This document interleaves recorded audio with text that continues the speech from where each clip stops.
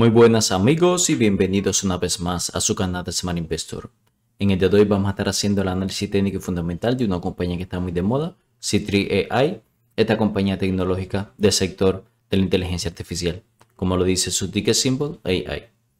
Vamos a estar utilizando la herramienta que vemos en pantalla de Smart Investor Tool para hacer el análisis fundamental donde vamos a ver el crecimiento de la compañía en los últimos años, las proyecciones de crecimiento para los próximos 5 años y también qué tan saludable está el balance sheet de esta compañía para ver si hay riesgo de que se vaya a la bancarrota. También vamos a ver el rating que harán los analistas de Wall Street y las proyecciones también según el fair value que le asignamos nosotros según nuestro método de evaluación de los earnings per share y crecimiento futuro y también el modelo del discount flow.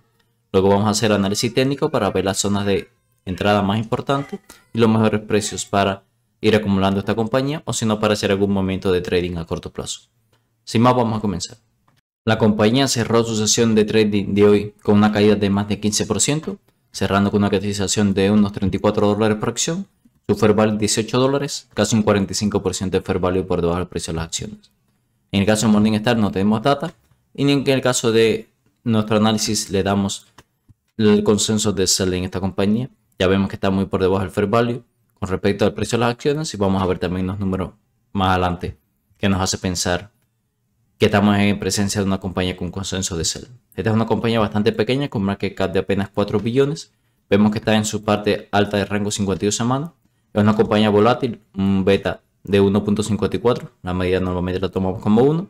Vemos que es una compañía que no genera ganancias. Eso sí, tiene un volumen muy interesante. Se negocia como promedio más de 24 millones de acciones en cada sesión. Y vemos que en el último año ha crecido más de un 87% de las acciones, un crecimiento bastante importante. En los últimos cuatro años, la compañía ha logrado multiplicar casi por tres sus ingresos, pasando de 91 millones a 252 millones. Pero esto no se ha reflejado en más ganancias. Podemos ver que en el 2019 generaban 33 millones en pérdida y en el año 2022 generaron 192 millones en pérdida, decir que las pérdidas están aumentando. Y también podemos ver que la cantidad de acciones circulantes están aumentando, pasaron de 73 millones a 108 millones. Esto es algo muy negativo, ya que están diluyendo a los accionistas y están empeorando las valuaciones de la compañía. Tampoco hubo una mejora en el free cash flow de la compañía. Pasó de 41 millones en free cash flow negativo a 90 millones en free cash flow negativo. Recuerde que de es de donde saca el, dinero para recompra de acciones, para pagar deuda, para invertir en el propio negocio de la compañía y para nuevas adquisiciones. Así que este número es muy importante. Si vemos los rechos financieros, es una compañía que no genera ganancias, por lo tanto no tiene PER. El balance entre activos y pasivos y entre activos y deudas sí se ve muy saludable. Vamos a verlo ahora en el balance sheet. Ha tenido un retorno sobre capital invertido negativo. Vamos a verlo en la gráfica también. Y podemos ver que a pesar de que ha aumentado los revenues en 161 millones, esto no se ha reflejado ni en más ganancias ni en más free cash flow.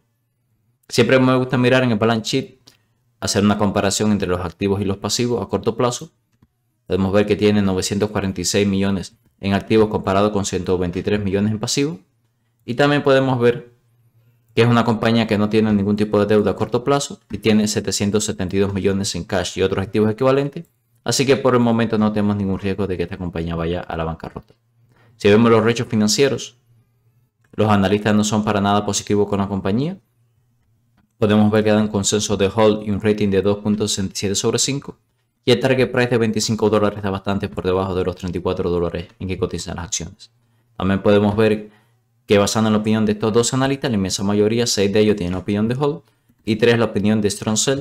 Así que la tendencia de los analistas a largo plazo y en el próximo año no son nada positivo para esta compañía. Podemos ver en los estimados crecimientos que se espera que la compañía siga creciendo a un ritmo bastante alto en el año 2024 se espera que crezca un 20% los ingresos y a partir de ahí un crecimiento bastante interesante. Aunque también hay que decir que a sección del año 2027, donde se espera un incremento de 248% de los ingresos, el resto de los años se espera un crecimiento alrededor del 20%, que no es tan grande para una compañía de este sector y también con una compañía con una evaluación tan exigente. De hecho, podemos ver que no se espera que incluso en el 2025 sea una compañía que genere ganancias y habría que esperar hasta el 2028 para que genere free cash flow positivo, que es algo que hay que tener muy en cuenta.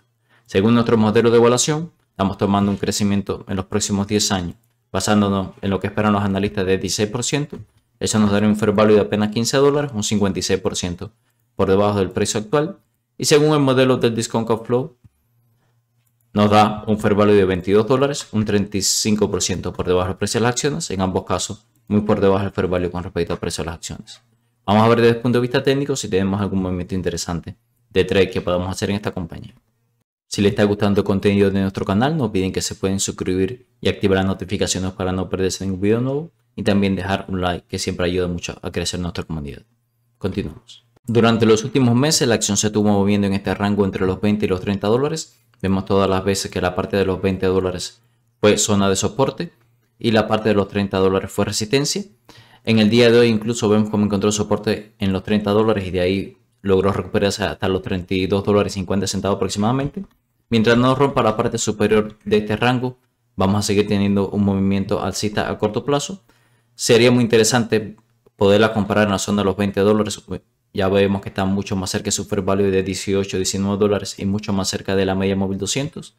Hay que decir que por el momento vemos que el RSI está teniendo un cruce bajita, saliendo de zona de sobrecompra. Lo mismo pasa con el MACD. Vemos que ya tenemos un histograma en verde pequeño, podemos tener un cambio de tendencia a corto plazo, así que sería paciente, me parece que estos precios son extremadamente altos.